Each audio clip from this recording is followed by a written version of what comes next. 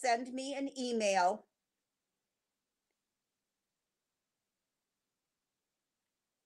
Hi, I don't know how much of it you've already heard. I'll start over. Hi, my name is Jean, and I am the Education and Volunteer Coordinator at Community Homeworks here in Kalamazoo. So glad you've been able to join us tonight for our class on hand tools. Three of our instructors will be sharing their favorites. Hopefully there'll be some new ones for you to learn about, or maybe a new way to use something you already own. I'd also like to remind you that Community Homeworks provides critical home repairs to income qualified families here in Kalamazoo. If you think you have a repair that we might be able to help you with, please contact our office or send me an email at education at communityhomeworks.org. We would be glad to get an application to you and hopefully be able to provide some services to you. Joining us tonight are three of our favorite instructors. Jason, can you invite them to join us? There's Sam and Harry and Gary.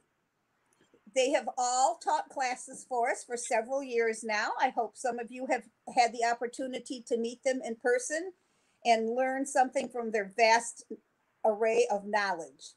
We're going to start with Sam tonight. This is Sam Eubanks. And Sam, would you share a little bit about yourself and then share your favorite tool with us? Hi, Jean. Hi, everybody. Um, glad you're doing well. Wish we were doing this in person, of course. Um, I'm a remodeling contractor who's been in the business for 30 plus years now. Um, have lived in the Kalamazoo area since um, 1999 and um, got involved with community homeworks a few years ago doing weatherization classes and a fun class that I really like is building the interior storm windows, which I hope uh, we can do again. And um, so I'm I'm real honored to be here tonight. I I appreciate you guys inviting me along. So hopefully some of the tools I have here you'll find interesting, um, if not useful. And um, I guess the first one I'll start with is one that saved my uh, uh, me from losing a number of uh, fingernails over the years. At least I hope so. And I don't know if I can get it on the screen.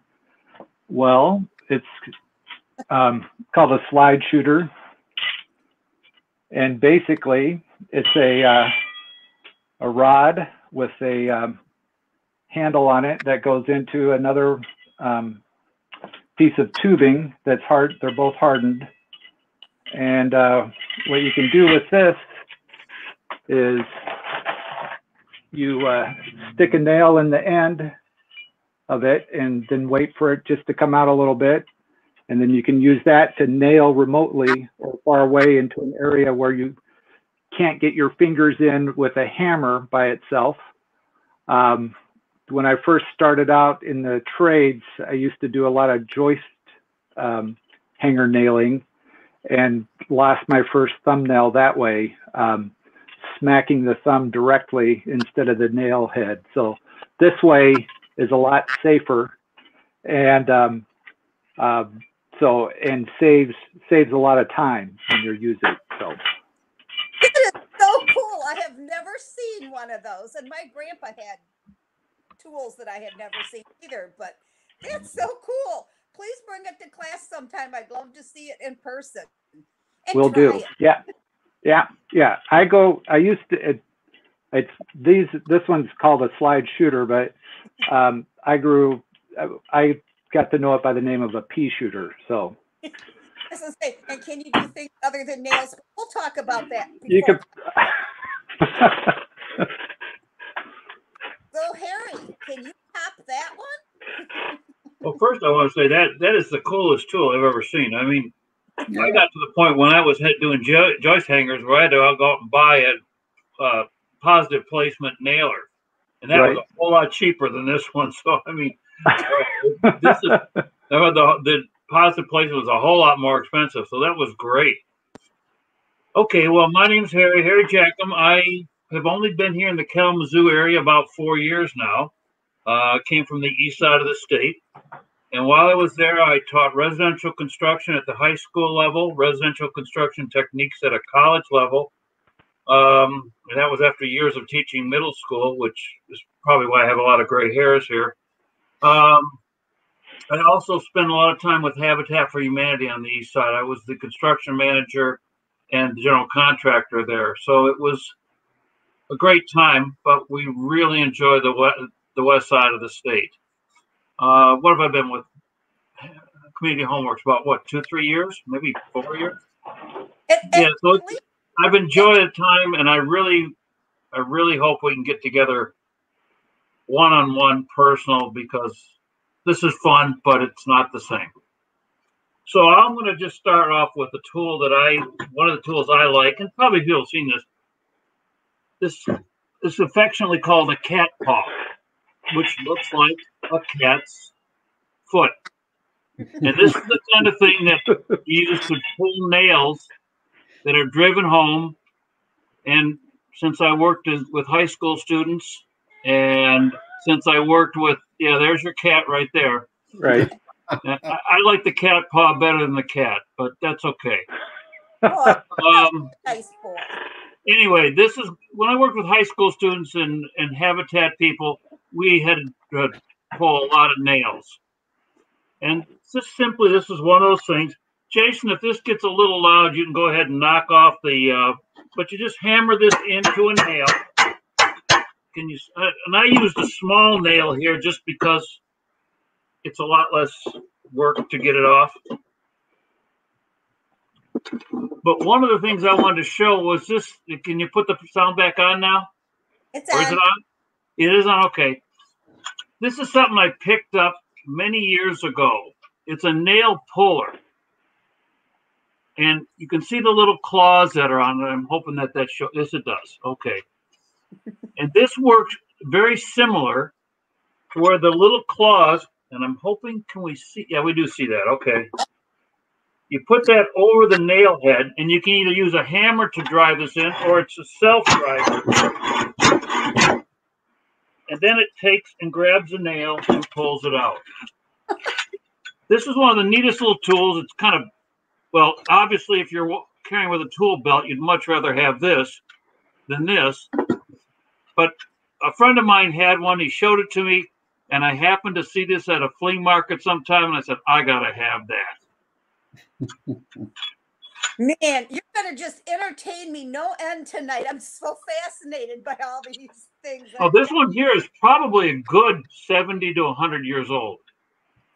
Ah. I'm gonna have to I- look I- carefully when I go to the flea markets and see what I can find. what did you have to say, Sam? I was going to say I do a lot of remodeling, and I've got my trio of cat's paws here next to me, and um, they're an invaluable tool. That's for sure. Even you know, um, if you want to deconstruct something, having a cat's paw like that is a great, great thing to have. Great. Okay, Gary. You you I'm sorry I put you third, man. You're gonna have to work hard to top those two. uh, uh, uh, boy, am I, and I'm going to start out dull, but uh, my my career went from truck mechanic, electrician, HVAC, steam, building inspection, associate degree, of course, and I and I teach your uh, water heater class. So, uh, so yeah, I start out as a truck mechanic, but one of my favorite tools is the humble crescent wrench, and uh, you know, I have a whole box full of real wrenches, but just to ah, there we go. Just to get right on and open things up, and away we go. Uh, it's hard to beat having a crescent wrench in your pocket, ready to do things. What you do have to do to make best use of this, you see the, the thumb action here. Always, always be wiggling that tighter. Otherwise, yeah, you round it off and it makes it look like it's a bad tool. But if you keep your thumb on there and you keep working and keeping that tight, it really does accomplish something. And then they do work this direction too. You can uh, do, you know, absolutely whatever's necessary. And I'm going to jump ahead just a tiny bit here. And a way to gain leverage is to get on your screwdriver bit with your crescent wrench. So next. Thank you. Well, I learned something new about the crescent wrench too. I'm so glad I get to come to all the classes that we offer. I it's really scary. Some of my friends think I'm as smart as you guys now just because I go to classes and I keep telling them no, but I can ask an expert. So Sam, you're my next expert. What are you going to show us? Uh, well, I've got a question for Gary. Gary, can you show us that that what you were doing right at the end there? Were you putting the crescent wrench onto um, okay onto your screwdriver so you could get like be able to turn the screwdriver on it for a difficult screw or something? Yeah. So uh, a six-way screwdriver. Uh, I guess I should make my next tool, and Sorry. we can get up here and um, uh, which which you know there are times you're taking the screw, screwdriver you're putting all your weight and your muscle directly into it and trying to get the torque so sometimes sometimes it's worth putting that extra lever on there Yeah, yeah, and I think that just finding all that leverage is is like key to a lot of these tools. So, especially hand tools. And so, kind of keeping on Harry's theme of nail pulling, I don't have as cool a nail puller as as uh, Harry has, but I've got this one, which I just picked up about a year ago. I keep forgetting left, right, and it works similar. You've you've got the jaws these go around the uh, head of a nail or um, in my line of work i'm pulling a lot of um, casings and trim trim boards in that where they don't there's no nail head so you use this to pull the nails out through the back of the board so i don't have a slick demonstration but uh, this tool and uh, this is what i used to use is this pair of of, of nipping pliers for rocking out a uh, uh, pulling a nail, but these two, um, this one more so since it has this this nice angled and longer handles here or nice arch, gives you a lot of pull for pulling out a nail through a board, or pulling out a if you can get it onto the head of a nail, pulling it out of that way. So I think a lot of people realize that when you've got trim that you're pulling out, and the nails um, go through. It's better to pull them out through the back than trying to tear up the molding of the trim to uh, get from the front. Absolutely, yeah. So yeah, because if you if you push them back through, you're going to pop the the face of the the board and you or splintered there. So Well, you guys are giving me an idea for a class this summer. I think we should go to a flea market and look film. And you guys, I, I hope to see flea markets open this the summer. I miss them a lot. oh, but that that could be a really fun class about how you can find things at at a, a flea market or a thrift store of tools. Harry, what do you have to share for us? Okay, well, a lot of people didn't ha- see this, and there was a video I was showing to my college class, and they were wondering what it is. And it's called a Yankee screwdriver. And the way this thing works is when the, you put the head on the screw and you push it, it twists. And you can see that there's some kind of unique gearing in it because it also, you can change it. And I got to remember how to do that with this one to go the other way and take the screws out. And this is something my grandfather had. And my grandfather was quite a carpenter. He was uh, one of the chief wood uh, cabinet makers for Ford Motor Company. And it's one of the neatest tools. But obviously, when you're trying to use this, you're still using a lot of muscle power. And as things have changed, we've gone now to these, the drill drivers. And honestly, in in today's money or the money at this time, this thing probably cost as much as a reasonably cost drill driver. But it's so much longer. Can't you reach into places that you couldn't reach with the with the drill driver? I'm sure you could. Okay, and it comes in handy. Obviously, there's no power. The battery goes about. You got something like this. Uh, this one shows a, a flat head which, of course, at that time, that was about the only thing they had. There weren't anything with the cross points or the star points. Um, I find when I use this thing, it slips a lot and marks the surface because of the flat top. And I don't have a bit that would fit this particular unit with a cross point or a star bit. Besides that, this is so much easier. But as cool to look at. And Isn't this cool? But I also have some long extensions for this too, so I can sneak into some t- pretty tight areas. Sam had something really long last time you did class for us, didn't you? Didn't you have some long that you were reaching in with? Right. Yeah. Um, so longer bits for the for the im- my impact driver. Yep. Yep. Oh man, Gary, it's getting harder and harder to, you know, come up with something cool. What do you have? Well, I'll go. I'll go back to the screwdriver. The very simple six-way screwdriver. Um, amazingly inexpensive today, but um, it's six-way because we have two this way, two this way, and we have two different size of nut driver going on here too. So that's uh these are things I toss in my back pocket and I head off and try to try to make something happen and go. And then recently, well, I was showing different ways to get leverage. You can also leverage out here. There are ways to get a little bit out that way.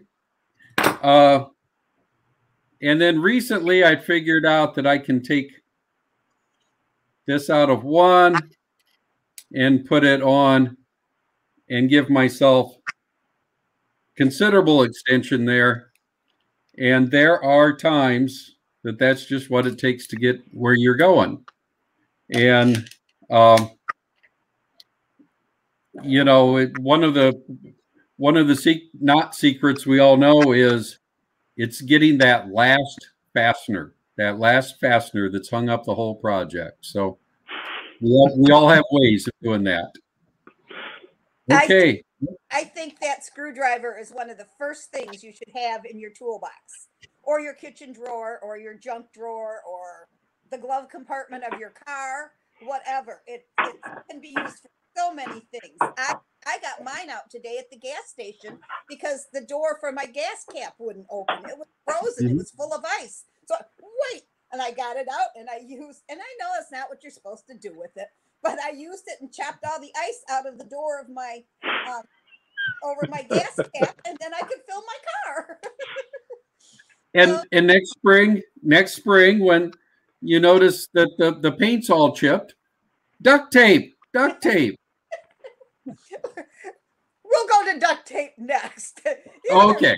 So many things you can do with duct tape that don't have anything to do with home repairs, too. Uh, uh, uh, Sam, what are you going to top all this with? All right. I don't know if I can. Um, I bet you can. Uh, are there are there any questions from the audience or anything?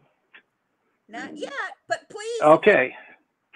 Well, Harry, what's that? I say if you're watching and you have a question, please type it in. Um, Harry Harry went with the nail pullers. I've typically used three for different jobs, so I'm just going to set those aside. and pass on that. Um, um, one other or one other thing that I do sometimes is a little carving.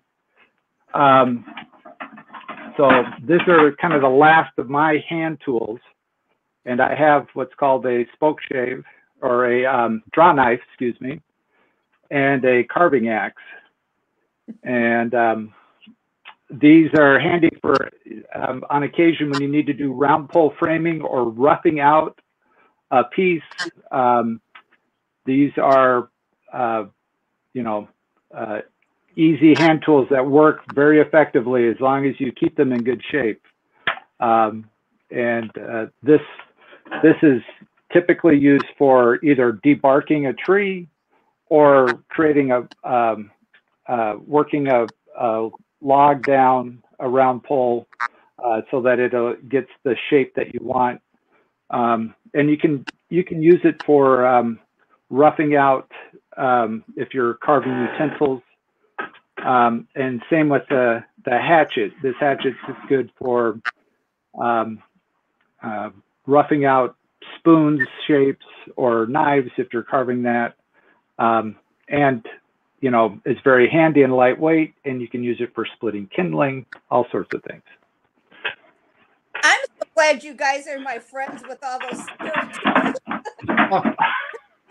Well, I got to say, I'm loving these older tools. I mean, that spoke shave, that that's what that's got to go back hundreds of years. I mean, it's a great Right. tool to have. So flea markets are great. I found this one. I don't know if you can see the hole in the handle. It was used as a display at a at a business or a restaurant. Someone had screwed through it and just like stuck it on the wall, you know, as a, a thing. And um, they were, you know, somebody was getting rid of everything. So I definitely picked that up. The hatchet though is new, so there's still people making hatchets. So um, I couldn't find one that I wanted. I looked for a year or so at uh, different flea markets and, and antique dealers. So had to break down and buy one. Well, but it's so much fun. It gives you it gives you a real good reason to have to go to a flea market, doesn't it? in, ca- in case you need an excuse for your other half. Right. Right. Harry, have you found good things at a flea market, or do you have something newer to show us? Uh, well, uh, kind of a combination of two. And although I didn't find this at a flea market, I did find it on a rehab job that I was on one time. And it's a folding yardstick. Hmm. Okay, so comes in three little sections. It's one of the neatest things to use.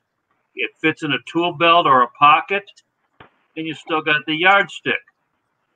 That kind of was goes back to where in the early days of construction.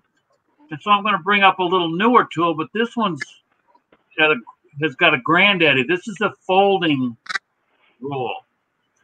And this is one of my favorite tools because if you're measuring for uh, finish work, particularly if you got to measure inside, it's also got an extension so you can get a good inside accurate measurement. These things have been around, well, I, I would have to say well over a hundred years. Again, as I said, my grandfather was a, a cabinet maker, carpenter for Ford Motor Company, but he also built his own home. And at that time, he used this for his measuring to build the home. And I mean, he has he's done beautiful cabinetry. If you've ever had a chance to uh, be at uh, the Henry Ford Museum, that beautiful teak wood floor that's in there, he was on the crew that did that. And that, of course, after a while led to something like this, which we all know about the tape measure. Because the tape measure can go out 12, 16, even as much as 30 feet. It fits in a tool belt much easier. It's a little more accurate, but I still use one of these more often probably than I use this. Hmm. It's so much fun to see how tools have progressed. I would that would be a really great class too. Of it started this way and it's grown to, you know, like the drill driver. you know, Gary. I'll keep keep in mind that the uh, the simple carpenter square, that same device was used in building the pyramids. Well, not my device, but a simple square was used to build those something like that. Because as I've told many people, no matter how construction changes, square is square, plumb is plumb, and level is level. And that doesn't change no matter what you're doing. Well, and, And the water rolls and water rolls downhill. Plumbers know that. Right. well, what I find really interesting. Hot on the left, right on the cold, or, or cold on the right. And Friday's payday. Yes. Yes. I'm finding it really interesting with the three of you who do construction and carpentry and things that I don't do, but I sew and I have so many tools that do the same types of functions as you do. You know, I have my seam ripper, which takes things out, my cloth tape measure, which measures things. You know, um, I use a T square. I use a cutting board that has a grid on it. Um, it's it's just I'm fascinated that things are so tied together for two different types of construction. Because I guess I'm doing construction also, just with fabric instead of with wood. So, Gary, Mhm. I know you have something else to share. Well, I use you to I'm- go get the other one ready.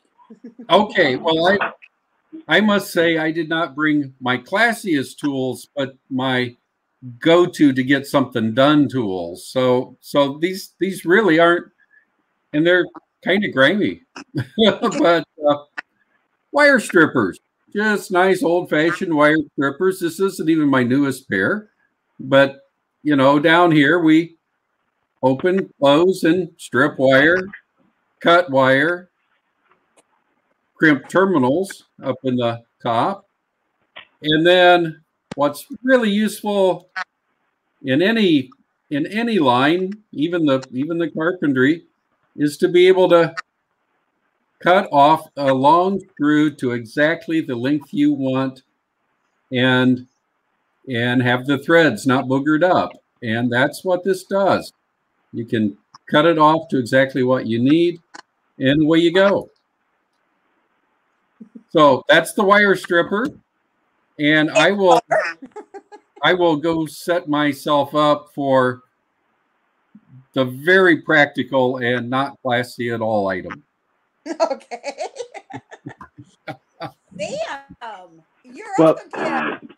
I got to say that the um, that wire stripper, I didn't learn that that had a, a rethreader element to it for a number of years. I had no idea what those holes were for on a wire Okay. stripper, and um, that was like a you know having to cut a lot of bolts for say um, uh, when you're putting on a door a knob on a drawer on a cabinet you know a lot of times you have to buy bolts that are slightly deeper than the bolts that they or the nut or uh, screws that they come with.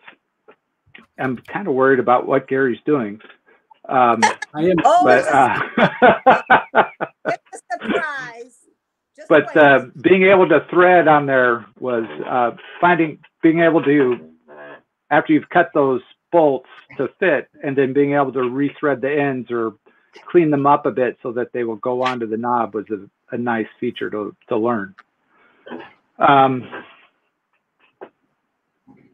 what I've got, my next tool, and I um, is a um, voltage sensor. And so in doing a lot of construction, I end up uh, having to remodel or working around the electrical. And this works simply, you turn it, you know, uh, hit a button and it will, is able to detect a current in a, either a wall or near an outlet. If you're checking an outlet to know if it's, if it's hot or not, um, you can use this and it makes that beeping noise. I don't know if you can see the light very well or not. Um, there's a little sensitivity knob to to uh, adjust on it, so it's not. It can pick up just the circuit that you're working on. But um, if I'm cutting into a wall Um, if I'm trying to abandon an outlet or a, a light switch, or if I think I'm trying to find a breaker to to make sure that a, a circuit is off, I'll double check with this to make sure I don't get shocked or electrocute myself. I I wish I had had this sooner in my life um, after being bit a few times by uh, uh, a circuit. So That sounds like a tool that you would recommend that people have in their toolbox. it's it yeah. If you're doing any electrical work, it's good to know if it's hot or not, and especially in older houses where you find old knob and tube wiring or wiring that looks a little suspect. Um, or you come across a splice that's been made and kind of buried in a wall or in an attic, um, you can check and see if it's hot or not, or if there's a current there, um, and then uh, address it so you don't have a fire hazard. Well, and wouldn't it be good to to check even if you're just going to, let's say, cut a hole in your drywall, you want to make sure you're not going to cut a wire that would pick that Yep. up. too. Exactly. Yeah. the Oh, I wish I, yeah, I've carried that, I've carried those in my pocket now when I'm doing any kind of reconstruction. Um, because there's been a few times that I've taken a pair of wire cutters and turned them into wire strippers by just Right. blowing through a circuit and it's chewed a hole in them because it was supposed to be off, but it wasn't. So, That's like, I that's guess that's hard on your. Go ahead. Or I was going to say that, and when you cut a wire like that and they arc, that light is blinding for a while. You're seeing spots. So oh yeah, I, I guess this should we be where we throw in if you're going to do anything electrical, go turn it off before you start and then still check it. Don't ever Absolutely. assume it's really off. well, I say, I'm a lot of times in, in, if you're coming in to do work on the side, you don't know what you're running into. There might be a circuit that really isn't even able to turn off. It- It's you know you run into some crazy things when you're doing when you're dealing with other people's work. And especially older homes where Yeah, exactly. been buried over the years. Having lived in several older homes, it's you check and then you check and then you check again. It's not measure twice, cut once. It's check four or five times before you touch something that might hurt you. but Harry, what do you have next? Well, I'm staying with the historic vintage tool theme. And this is something, again, I picked up. Actually, this, my dad picked this up from my grandfather. And this is called a geared plier wrench. And I actually ended up looking this up on uh, eBay today. Uh, it's been around for a while. This has a set, you can pull it out and you can adjust the jaws and it's a nice square rather than like a pair of pliers which kind of grab in a circular form this is parallel. So you can actually use it as a wrench. And i found that i mean this is the only one i have but it actually there are they when they made these things back in chicago and this comes in the early 30s they made it so that they had several jaws that you could actually change the length considerably. Um, I still use this thing. I mean, I use it quite a bit because it's handy, and a lot of times I don't have to turn a, a nutter bolt. As I said, I'm broadcasting from my brewery, which serves as my workroom, and when the weather's so bad, there's a lot of uh, nuts that I have to tighten up on various parts. This one hangs around, and even has a handy little screwdriver on the end. You guys are just amazing me with all the things you have found to share. And Gary, you're going to do a live demonstration, right? With this one, No, I think you could pull teeth. oh, with the beer, okay, I can do that. There you go. There you go. Harry, Well, I think you should leave that out for when your grandchildren get with me. yes. I bet you it would grab a loose tooth really well. So this Gary, is the this is my my favorite way to to clean a sink drain. and uh, just really, really simple, practical, and a homeowner would like to do this. First, you take your shop vac, take your shop vac, take the dry filter out of it. Make sure it's a shop vac that can go both ways, wet or dry. Set it up for wet. That's what we're that's what we're going to be doing, and we're going to try to clean the sink with it. And it's really pretty simple. We just go to the clogged sink and open it. The bigger the hose, the better. Go over the drain and clog up sometimes a dish rag or whatever, or a wash rag or whatever. Clog up the overflow lines with your fingers here. Turn on the power and suck the suck the whatever is plugging this in. Now this only this will only get us this will only clear us as far as the vent line. We know that. The vent's gonna relieve to us here. And then run hot water. Run a lot of hot water. Do it again. Pull more out. Pull the hair off. Run this repeatedly. Run the hottest water you can for several minutes. And um, if need be, get underneath and take the plunger out. You'll get even better performance if you do that. But a lot of times, this is enough to really do the job. And we're not having to use the nasty chemicals. We're not tearing the trap apart. And it works. So I'm- I, I will move on. I will move on out. Oh, that's wonderful. And most people have a shop vac, and most people get a clogged drain now and then. Here's your answer, direct from Gary, the plumber. Yeah. Sam, I saw you giggling. You're gonna try that next time you have a clogged drain? Yeah, I probably will because you know I've I've made a mess of things that some of the stuff you pull out of a uh, a clogged P trap or whatever there can be um, not one not smell very nice, but two get that get on you uh, at the same time. So Or this way it would go right down that hose and maybe be a little less to clean up. right, Well, and you're and you're standing right next, standing right next to a toilet to dump the shop vac into. oh, good point. Yeah, so it's um as long as your clogged drain's in the bathroom. Mine's usually in the kitchen, but oh well okay okay variation there, but but it does work. Yes. But it's still not that far to a place to dump it, so it's okay. I it's I found it's a, a really practical way, and uh, another another reason to buy a shop vac. Sam, I expect a report if you try it. I want to know if it works for you. Will do. You'll be the first one I I text. All right, Please do. all right. I, I, I'm fascinated by very strange things sometimes. So, Uh, uh, what do you have next, Sam? Do you have one or two tools? Oh, I got a bunch of tools laying here.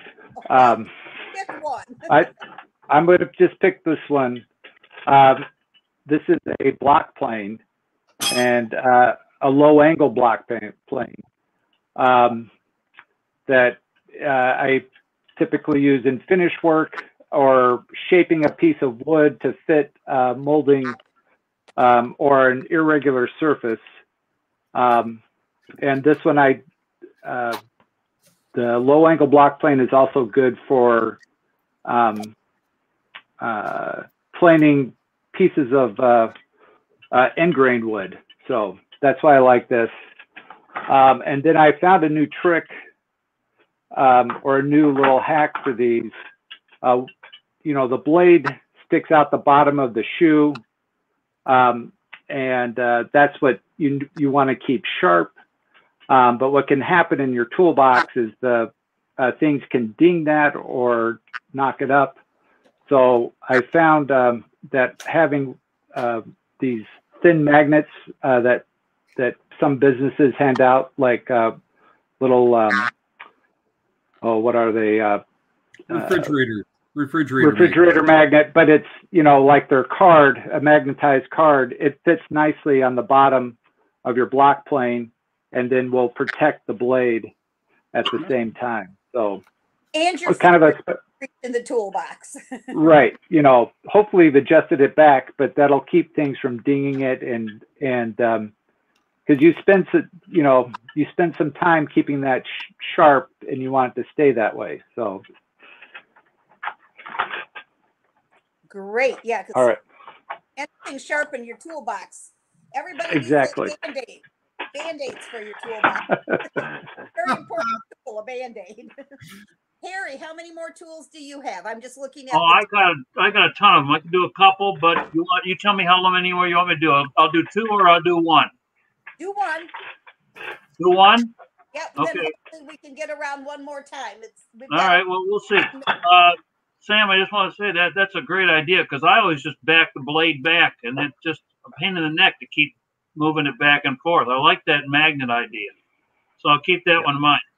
All right, I'm going to show you what I consider my favorite two tools to have in my toolbox, or at least with me, and that's a checkbook and a credit card, because it's just too often we try to do things that we are that's over our ability or at my age what i don't want to do anymore and it's just better off to call somebody and when you do that call and make sure it's somebody you can depend on somebody who's reliable and have no problem writing the check or dropping this credit card off to them Tree That is- trimming, Wonderful. taking down trees. I I will pay. I I did a whole lot this year because we had a 110 year old oak that the carpenter ants decided they loved a whole lot. Oh. Mm. Well, Gary, it's going to be hard to top your shop vac tool, but are, are you going to show us that roll of lovely stuff you showed at the very beginning? 'Cause I think it's Actually, valuable tool. this little tiny pair of vice grips, um, and I've got I've got bigger ones, but genuine vice grips, and uh, you know they've got a little wire cutter in there. That's well and good, but there are so many times that you know the the head is stripped off of a of a screw or a bolt, and you get in there with your vice grips, and again, as you as you clamp on there, you adjust in, leave up, crank in a little more, try it again, a little more, try it again. Sink that, sink that those teeth into the metal as tight as you can, and then go to work with it. Um, again, a a tool you have to to know how to make the best use of. Otherwise, you'll give it a bad name. oh, oh. Well, Harry reminded me of one of my favorite tools, so I'm going to interrupt and take a turn. Okay. My phone. I hate having to go to the big box store or the little box store more than once, especially if it's a part that I can't get a part to take with me. Oh, look, you get to see my entire phone. Um, take a picture. If you're taking something apart before you go to Lowe's or Home Depot or Menards, take a picture so that you remember what it's supposed to look like when you put it back together. So you have a picture of your part. Um, people take a lot of scenery. I take a lot of parts and pieces pictures, or how can I fix it picture, or what can I make picture um, with my phone. It is it is my reference as much as it is my memory collector. oh, if you've got a phone that you can take a picture and take a picture of whatever you need from the store, it could save you trip number two and three and five and ten and you know, and you can't go and buy just one thing either. So it'll save you lots of money. Sam, can you tap my phone? All I have is a notepad, Gene. So. Well, yeah, but you know what you want, and I don't.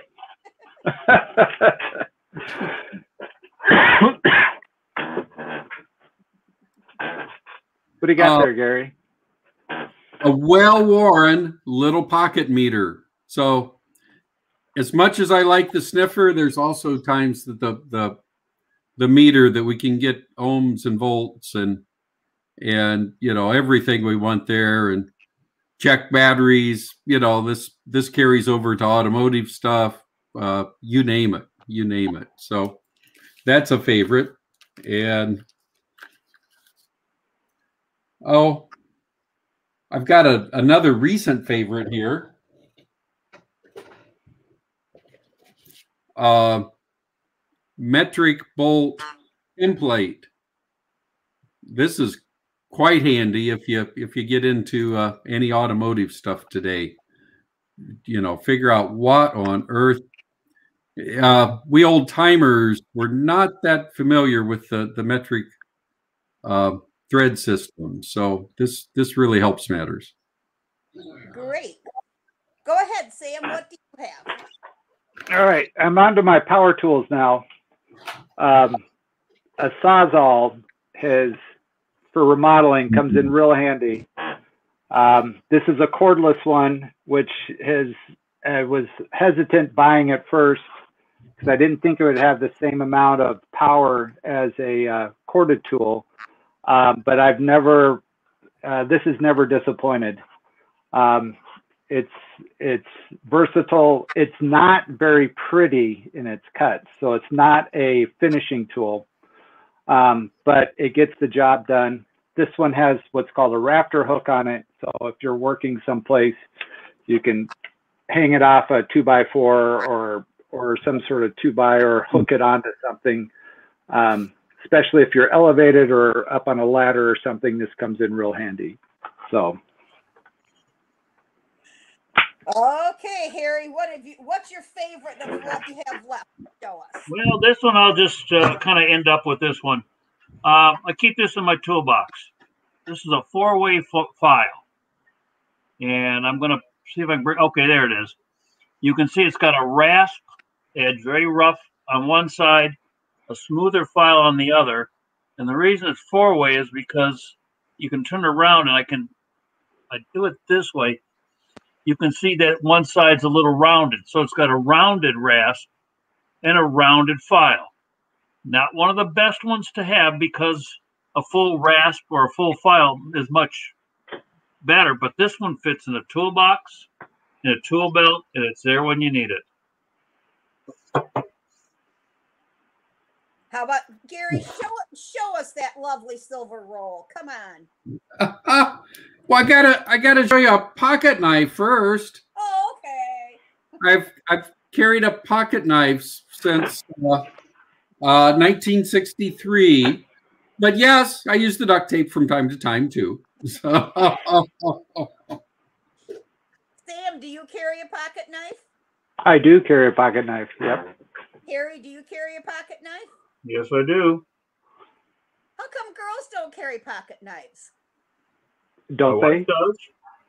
Or They don't- she has in the past. I, I Did- Do you carry? Do you have a pocket knife, Gene? no. Maybe you could get that as an accessory for your phone. Yes, I bet it would fit in this little pocket. There you go. I got, I got vice grips for Christmas. Oh, nice. okay, okay. In fact, Yeah. even when we travel, we we always have one of those little uh, small, about so big, um, utility Swiss Army type of knives, and it's got scissors, it's got a tweezers, and I mean, obviously, it's a little more difficult because you got to put it in your check-in luggage. But once you get there, you can take it out, and you're out and about in some strange place, and there's always a time when scissors or tweezers come in handy. Well, And, the I, corkscrew- and there's a corkscrew on there too, and that can come in handy too. I carry scissors, I carry tweezers, I carry a sewing kit. So I guess I have the girl version of your tool, of your toolbox in my Wow. car. but I can sew your button or fix the seam in your pants. So, well, I think we're close enough to wrapping up. I would like to thank all of you. I've had so much fun tonight. I hope people watching this has had as much fun and have learned. I, I mean, I've seen things tonight that I had no idea existed, or like the little rafter hook. I had no idea it had a name. I would have said the thing you hang it up with. So I'm just so thrilled that you guys shared so much with us, and hopefully we'll do this again. So think of some more fun, unique things that you can share, and maybe we'll come back and visit this topic again in a couple of months. Um, is anyone watching? Do you have any questions? Um, if so, you can still send them to me at education. Oh, what was Sam's battery operator cutter called? The, the Sawzall, I mean, I think it's a, it's technically called a reciprocating saw. So Sawzall is just a trade name like, uh, Jello is for gelatin. So, but yeah, reciprocating saw. Great. Thanks for the question, Dorothy. Glad you're watching tonight. Um, if you need to borrow one of those, let us know. I think we have one if you would like to try it. So let us know. Give me a call, give me a text, give me, uh, send me an email, whatever. And if any of the rest of you have questions after viewing this at a later date, again, you can send your questions to education at communityhomeworks.org. Um, we are still doing critical home repairs, can always use your financial support. And please share with any of your friends or neighbors um, that might need some critical home repairs. We have available funds and available time and would certainly like to help people in need. Again, Sam, Harry, Gary, it was great to see you. Hopefully, we'll be back together in person again soon. And thank you, thank you, thank you again. I had a great time. And Sam, smile. You had a good time too. Sorry. And and eventually I'll hand out Harry's phone number and we'll all go to his house for beer. All right.